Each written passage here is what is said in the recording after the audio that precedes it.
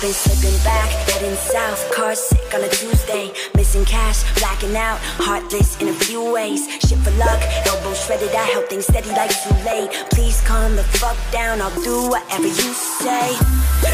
I get it, I'm living too hard and it's time that I stop it. But rising on up and then tumbling down, well, it's part of the process.